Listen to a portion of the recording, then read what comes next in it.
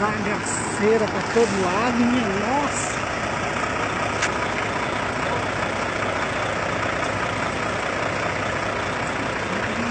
Uma bomba muito forte.